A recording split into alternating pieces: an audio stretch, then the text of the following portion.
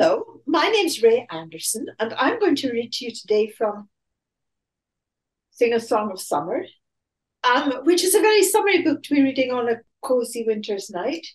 But it's kind of nice to be reminded of hot summer evenings. So in this one, Roxanne Calloway, who is the sleuth in the Roxanne Calloway mystery series, has gone to a village barbecue uh, in the evening uh, with her husband Matt and her son. Um, and we'll just start there. Coloured lights had been strung in the trees, brightening up the grey sky. A group of musicians had set up a mic and loudspeakers at the edge of the tarmac and were tuning up. This looked like it might become a party.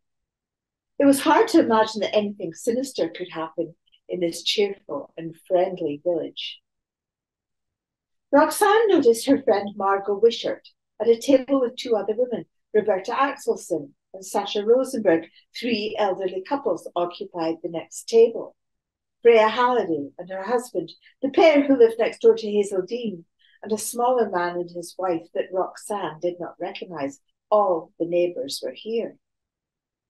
A man dressed to look like Elvis Presley walked out the door of the rec centre. His yellow polyester bodysuit had a metallic sheen and the legs flared. His black hair was greased and he wore long sideburns. He waved to the crowd. Some of them cheered. They all knew who he was. He worked as a plumber, but he wasn't pretending to be Elvis.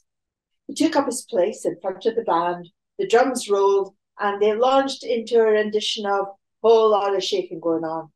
They weren't bad. Came back with their food.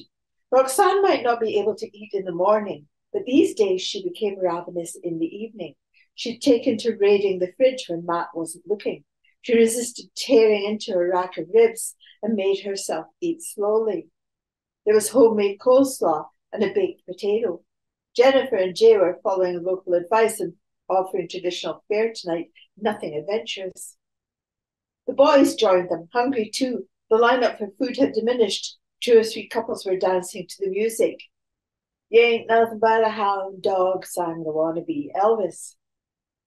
Roxanne noticed that the three older couples were listening to Herb Appleby, who was holding forth. Their heads were close together so they could hear what he was saying above the sound of the music. Margot Wishart sat at the end of her table. She looked like she might be listening in too. Matt tapped Roxanne's arm. You're off duty tonight, Sarge, he reminded her. She was. And all of tomorrow if she was lucky.